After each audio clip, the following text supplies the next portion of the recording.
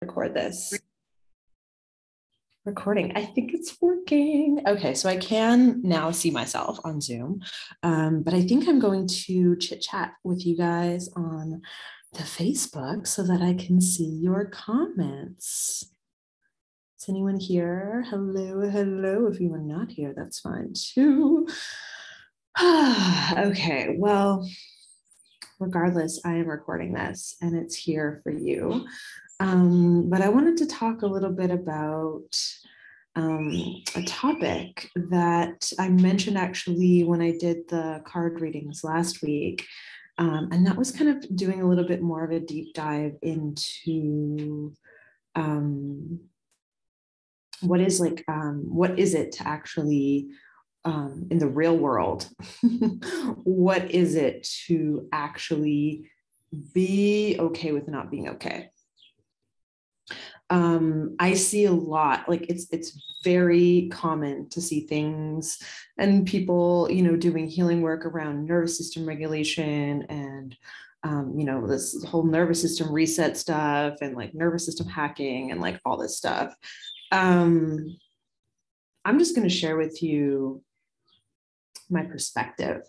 And this is not a perspective based on theory, and it's not a perspective based on someone else's theory or ideas. Um, it's based on my own experience of living in my own body and in my own life.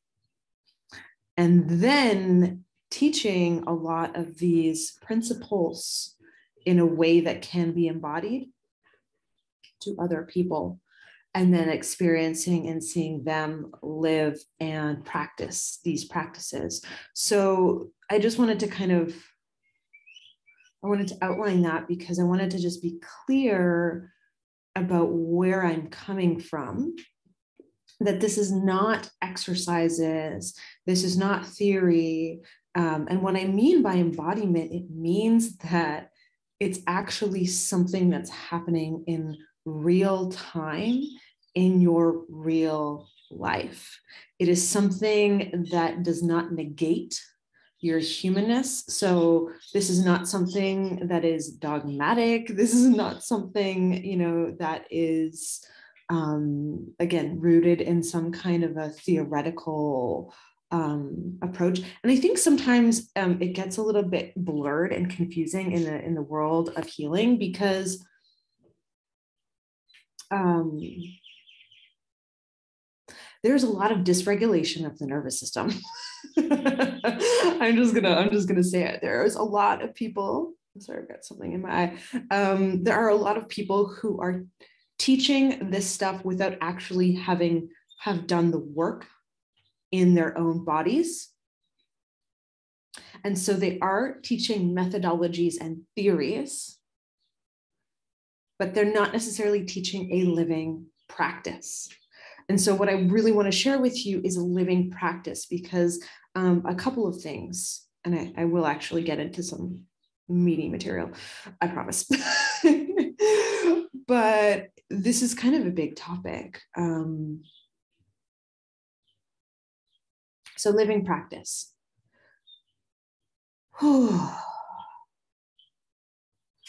Part of talking a little bit more about this actually stemmed from um, my own process of going through this, but then also in the last couple of years, some of the teaching that I've done and some of the workshops I've done. And I remember there was a workshop I actually did uh, locally in Puerto Vallarta a couple of years ago at a yoga studio. Um, really, really small little workshop with two really lovely women who joined me, two brave souls. And um, one of the pieces of feedback and comments I got from one of the women, well, actually both, was I could tell that their nervous systems were pretty full. And not just full, but kind of like they weren't sure how to go about processing the experience that they were having. And I'm not saying, you know, it's bad or good or anything, but what I realized is that there are the work that I do and the teachings that I teach, I realized then that there are some pieces that are fundamental that in order to kind of really deep dive and explore in all of these places and spaces where we want to go, um, and I see this in all aspects, right? I see this in the um, personal growth and development spaces. I see this in business development. I see where we were wanting to like push our boundaries and we're wanting to push and expand and expand and expand and expand. And we actually don't have the fundamental nervous system capacity to hold that expansion because most of us live in a space where we're kind of a bit frozen in one fixed place. And I wanted to kind of unwind what I mean by that in this particular video. I feel like this is going to be a series. That's what I'm feeling um, because it's a lot to unpack. So, the thing that I actually wanted to start off with today with is just talking about some of the myths that we have around um, our nervous system. I want to talk about like some big um, pieces that I see. Some and and it's like they're kind of like it, it might not seem obvious, but they're very like what's the word? They're really deeply rooted on a subconscious level to um, our societally societal and cultural beliefs. So they're really deeply rooted and ingrained and imprinted really, really early on. And through that perspective and lens, we actually don't even realize that it's a perspective, right? So um, one myth that I kind of wanted to talk about is this idea around nervous system stability. And one of the reasons why I wanted to talk about range is that biologically, our nervous system is actually designed to move through a range. I just want that to kind of like sit and settle into your bones for a moment. That you are actually designed to experience a whole range. And that includes deep, deep, deep rest and restoration, all the way to let's call like extreme activation. And often, one of the myths that we kind of get wrapped up in, I feel like, is in activation.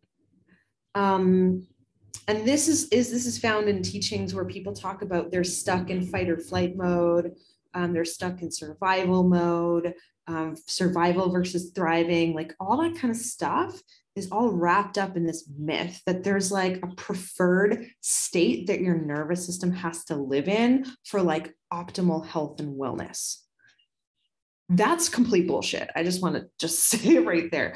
The fact that your nervous system has one fixed place where it lives, where it's like optimal, completely contradicts its design. Its design is range. Okay. And part of this myth, part of this idea, or, or it's actually kind of like a perfectionism, right? It's this perfectionism of like, if we're in this like place of like stability or neutrality or you know even I hate to use the word ease because that's the word that comes up but you know and I've used that so much but the fact that we think that everything has to kind of be in this ideal place to be healthy and happy and you know well and optimal and all the things and um, is actually contradictory to our well-being that might fuck up some things in some people's like systems. So I just want you to kind of like feel your chair right now, feel your seat, feel the space that you're in, like just really let that land in your body that having being triggered is actually a normal nervous system response. And the reason why I want to talk about this, um, this myth is to bring some normality to something that is often demonized and pathologized. Here's the interesting things about a lot of the beliefs that we have around these like perfected states that we're trying to achieve through, you know, health and healing and wellness. Often, this whole um, whole culture in health and healing and wellness is about trying to push for states of perfection that actually don't exist. And that in itself actually gets us on this hamster wheel of perpetually fixing something that does not need to be repaired. Right? A really good example of this that I use all the time is in terms of our body. Um, in the Western medical model, often it's likened to being like a car. And even outside of the Western medical model, I say the Western medical model, but um, energy medicine, like even Reiki and energy work, also goes off of this model. I know that might fuck some people up too, because here's the thing is even if you're like channeling energy into somebody, you're still trying to fix their fix their chakras, right? Because their chakras are not working properly, you're not flowing properly. And this is just that's just bullshit. if you've been following me for a really long time, you know how I feel about that kind of stuff. Um, and also, again, I'm talking about this not from a place of, I'm not trying to poke the dragon. I'm not here to just challenge beliefs and trigger your nervous system. What I am trying to share, again, is from a real lived experience, right? And so here's, here's the rub. When we focus all of our energy into what I'm calling a myth, the myth of like the perfected state of their nervous system or perfective state of our body, if we're channeling our energy to like this place of equilibrium, when equilibrium is actually not our natural healthy state of being, we're actually working really, really hard and not getting anywhere. So it's frustrating. And at the same time, we're actually completely disconnecting ourselves from life force itself, our body, right? Because our body and our design is life force itself. So your nervous system is not wrong and it's not broken and it does not need fixing. However, what does happen is that we do kind of glom onto these preferred states of being in our nervous system, and that can actually get us stuck there. And that can happen for like tons of reasons. It can happen from trauma responses. It can happen through just learn programming. It can happen for lots and lots of different things. And in the end, here's the other thing it actually really doesn't matter why it happened or how it happened. And I know, especially in the trauma world, that's kind of like a statement because um, it actually doesn't matter. If you've ever, a really good example of this is like if you've ever hung out with animals watch how they respond to something traumatic and watch their recovery process. It is instantaneous, right?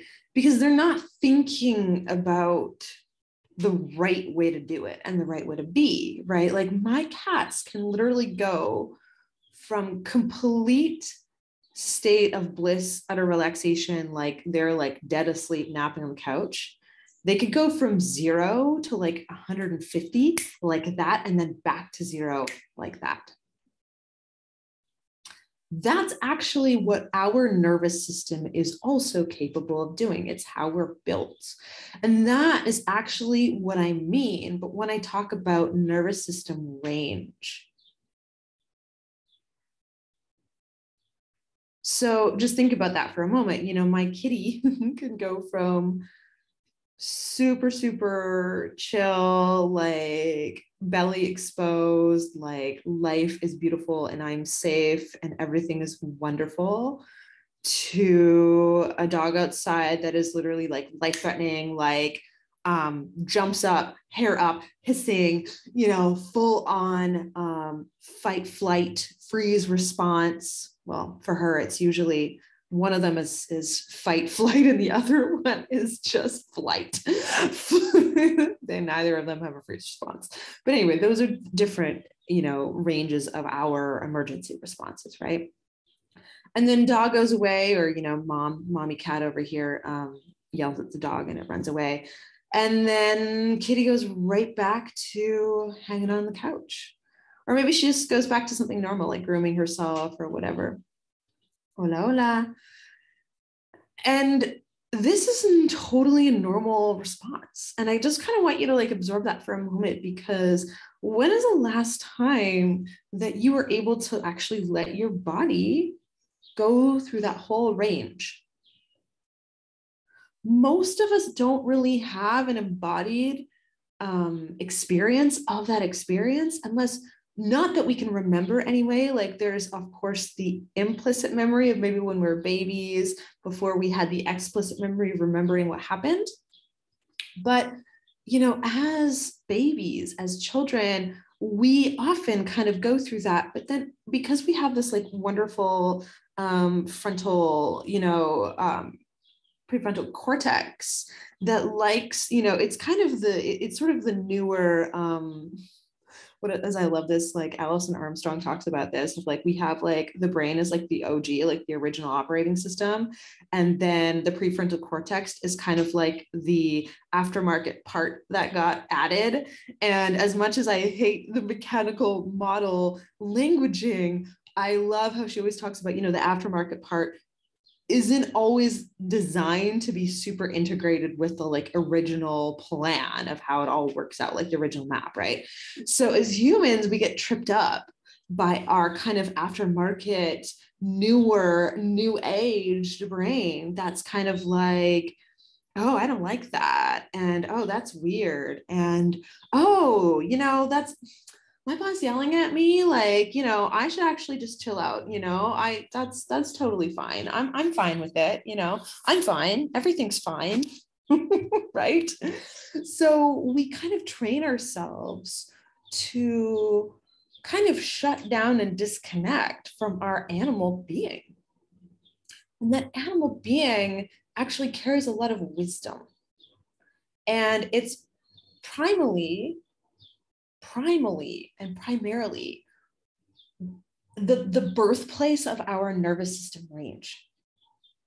So, part of the work that I do for myself and what I teach is how can we bring these two aspects of ourselves like in harmony? And you can call this like, you know, the mental aspect. I also think of it as like the spiritual aspect. It's basically bringing harmony to the subconscious and the conscious parts of ourselves. And by subconscious, I mean like the more primal animal parts of ourselves, right?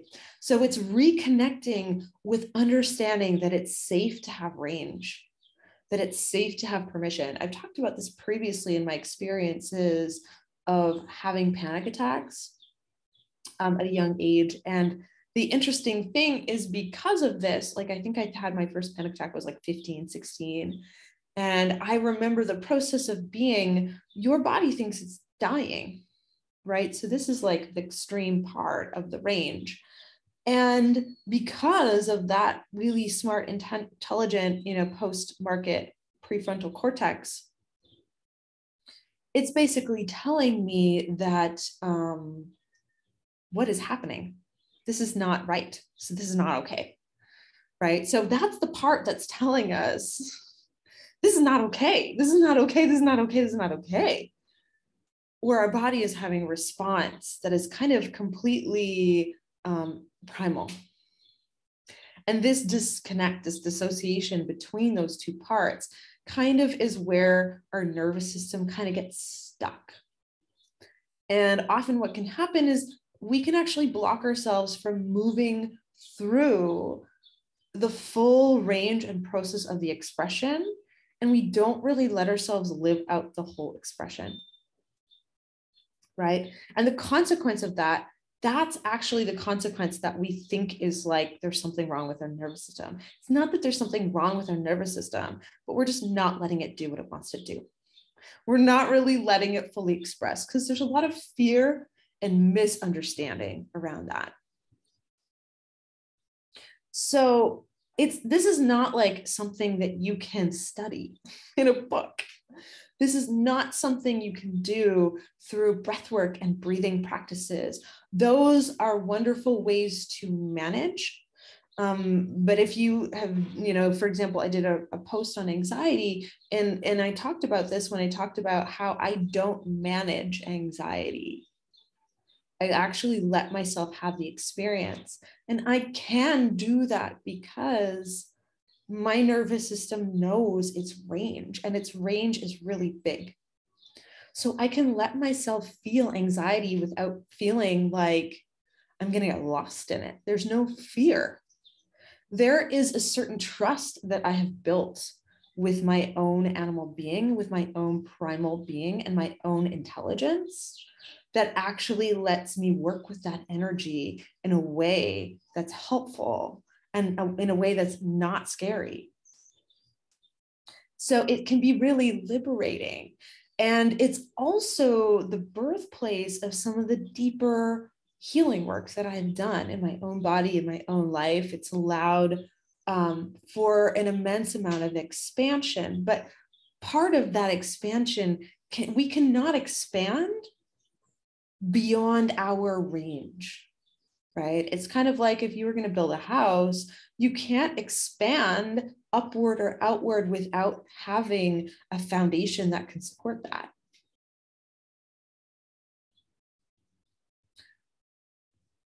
Hmm.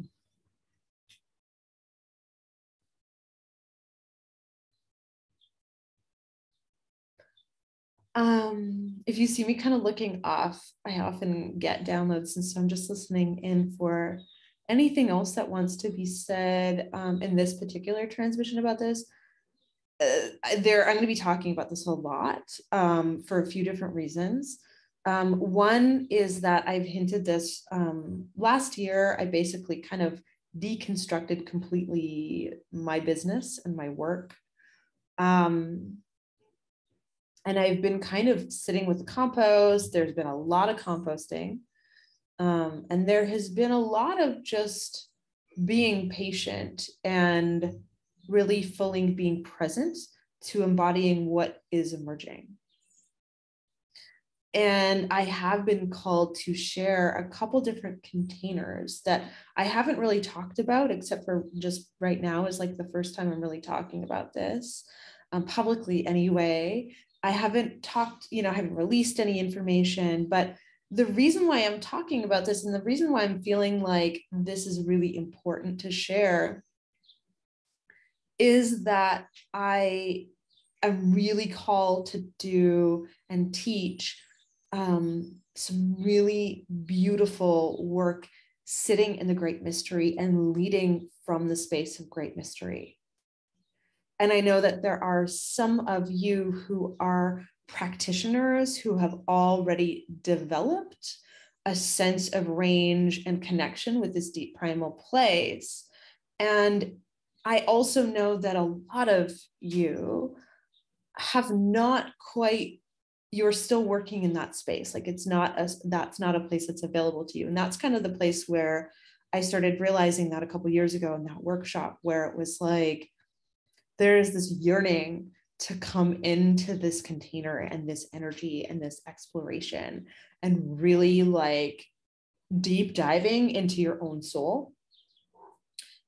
But in order to go to the depths that you want to go, you first need to connect with your own range. So there's a couple different spaces that I'm going to be birthing, essentially. Um, if you're interested in either of them, one which is based uh, and are focused around practitioners and people that already have some degree of embodiment work and some basic foundation of range in your nervous system that is wilderness. We're going into the wilderness together. Hmm. And also, for those of you who want to explore those kinds of places and expand your own capacity. Um, I'm going to be opening up a space called Origins.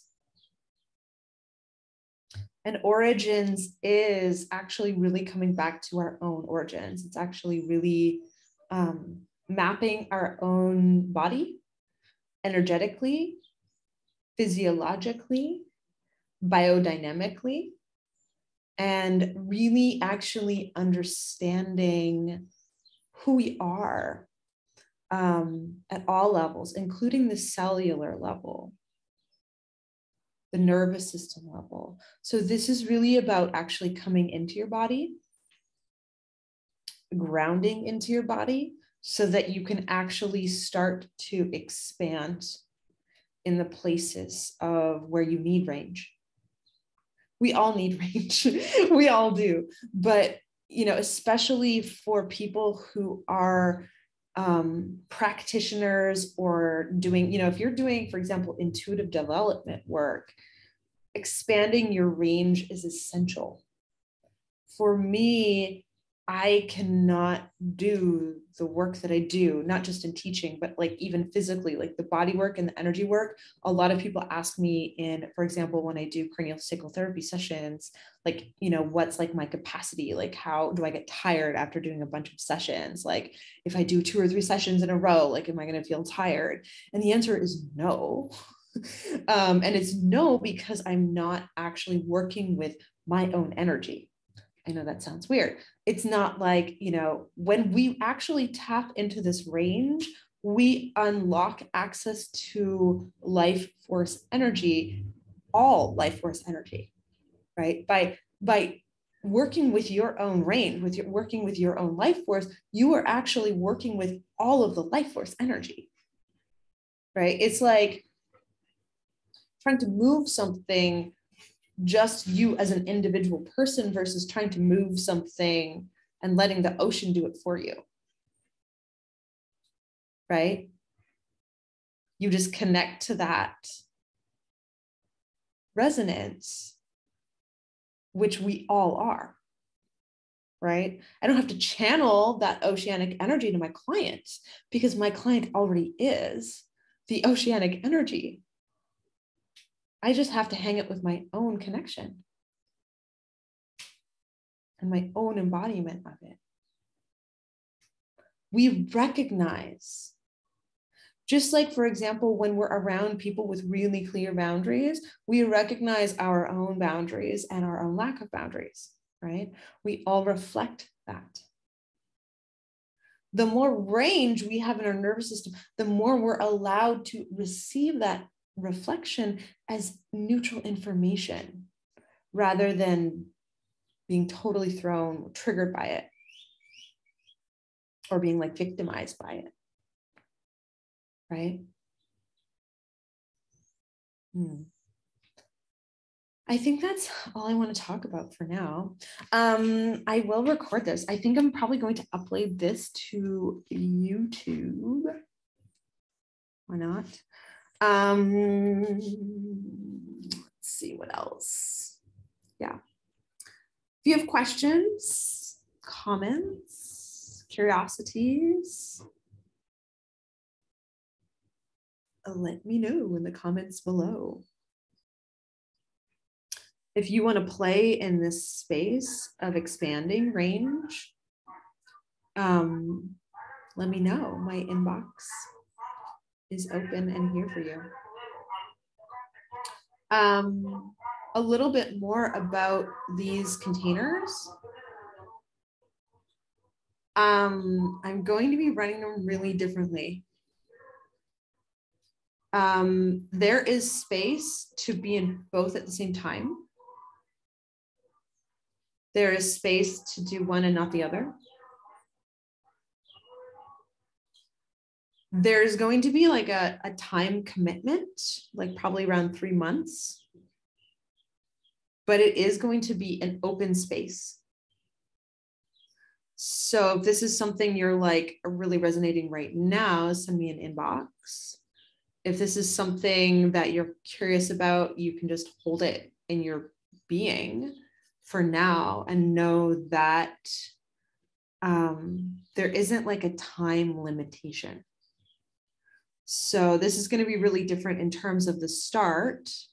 Um, I'm going to be rolling out the start when I have a certain amount, uh, basically a certain number of um, adventurers who commit. Um, we're going to roll with ahead with it. So there's no like, I'm not announcing um, a particular start date.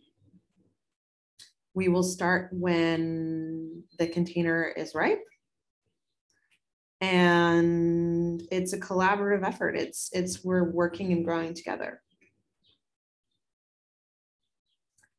I'm excited. I'm really, really excited. I don't. I don't even know. I don't even know how to portray my excitement. I'm really, really excited. Um, for the first time, I kind of feel like I can just do whatever the fuck I want. And I'm really excited to share that with you. So if uh, if working from an entirely different paradigm is something that feels curious to you, if working from a place where you don't have to perfect or fix yourself feels like a really juicy thing right now for you, this might be the thing. Um, again, my inbox is open. And if you want to know a little bit more too, that's actually the other thing. Let me know in the comments if you have a particular question. I am going to talk about and flesh this whole topic out um, around being, you know, okay with not being okay. There's more to say about this, so I, I will do another video. But if there is, if there's something particular that you want me to address, like let me know in the comments so that I can address that and speak to that. Um, because I feel like there might be a couple of, of themes or places that require a bit of clarity. So let me know. I'm happy to clarify for you. Anyway, other than that, happy Tuesday, my wonderful dear ones. We will see you soon. Mwah.